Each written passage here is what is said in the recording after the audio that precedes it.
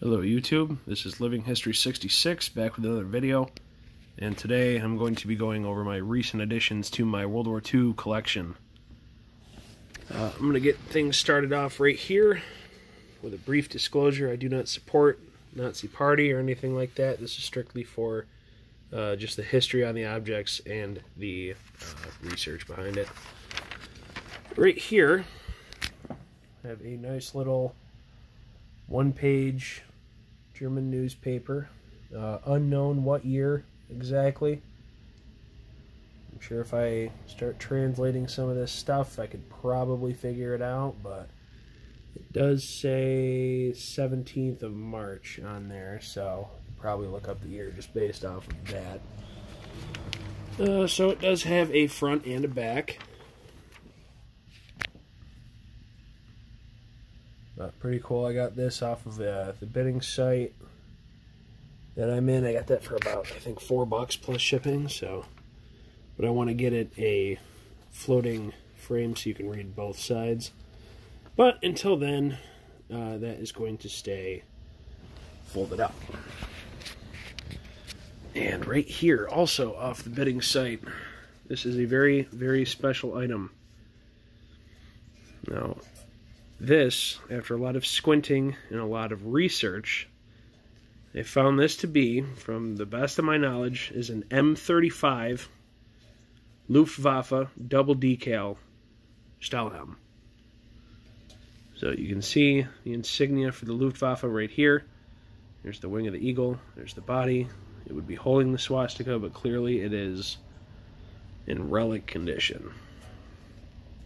As you can see, the uh, split right here on the edge of the uh, on the rim. There is a piece missing from rust and corrosion or erosion, and uh, big crack here on the side. But it is a double decal because if we flip it over to the right hand side, you will see a little bit of red paint right here, and there's a little bit above it right in here. So those two little spots and there's a white area, an area of white paint. I don't know if you can see it in here. It took me a while to, to actually see it. But there's a little shield-shaped emblem. Uh, it is a black spot, white stripe, and a red spot. Uh, I forget exactly what it stands for. I believe it has something to do with the Army. Um, I could be wrong on that, though. Uh, but there's that decal and the Luftwaffe decal on the other side. So a very cool piece of history right here. This is my first German helmet as well, so um, both of these actually were dug up from battlefields in Germany. I won this on a bidding site and um, on Facebook actually, and once the guy messaged me uh, for information on shipping and everything, he also told me that he has more helmets. Uh, I guess he has like a dozen or so battlefield dug helmets. So this one right here is an army helmet uh, for the German army. There's the eagle holding the swastika right there. Uh, this is an M40 from what I can tell. Okay, still a lot of, you know, a decent amount of paint on here too, the original paint. Uh, from the inside, though, you can tell that it has damage to it. And this is original battlefield damage. Um, down here on the skirt of the helmet, you have a there's a dent right there. Two shrapnel or bullet entry points. And then on the back top of the helmet, you can see um, that there is a uh, bullet entry point right here. And you can see right through to where it exits. So pretty crazy. Right here is the exit point where all this steel is pulled right back. So this was just a breathtaking piece to hold and let alone to actually, you know, have the opportunity to buy it and have it. So there's another small indentation right there and a big one here up on the top. So Uh, unknown on the backstory of it. The only thing that I got was that both of these helmets were dug up in Germany. The uh, guy who bought all of these bought them off of a guy who does a lot of metal detecting, I guess, in Germany. So, at least I know the country of origin. And it still has the bales for the chin strap and the uh, metal ring. I don't know what exactly you want to call this piece, but it's not in the greatest shape, but it's still attached. So very cool. It's not like loose or falling off or anything like that. So this was the one in probably the best condition that I could find out of the pictures that he sent. But all original Battlefield dug from Germany. Very cool.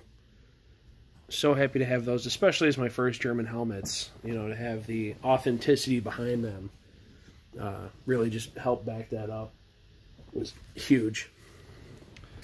I'm going to go over this beautiful piece right here in a second. Because just came in today. But I also just got this in the mail the other day. This is a very nice, it's a 3x5 48 star American flag. And it's a little dirty, uh, a little sun bleached. And right here, it's got a couple holes in the side, a couple tears. But, I mean, it fits right in with everything else in my collection. All beat up, old, dirty stuff. It looks like it's been through hell. So, this was an awesome... Oh, I got a actually really good deal for this. I think I got this for like 30 bucks with shipping. But also my first 48 star American flag too, so happy to add that. Now, I just opened this up what we have here is a beautiful World War II fighting knife. And this is a theater-made sheath for it. Leather is still nice and soft on here. You have a belt loop. At least from what I was told, this is a theater-made sheath. Because this certainly is not the uh, standard issue. but if we take this out,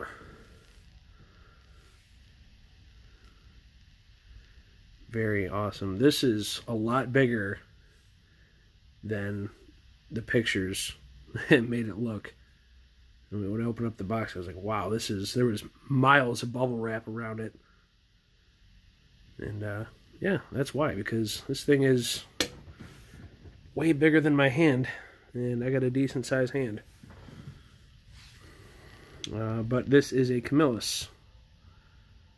And the reason I was I was specifically looking for a Camillus blade, and the reason was I used to live right across the street from the Camillus Cutlery here in New York. So an awesome little bit of local history. I used to live there, and I was actually on standby with my volunteer fire department the day that the uh, Camillus Cutlery burned down a couple years ago. So, I made it a point. This was a bucket list item for me, for sure. And uh, I'm happy I got a decent deal on it. Quick shipping. Can't complain with it. So, I'm super happy to have this. This is probably going to be one of my favorite pieces.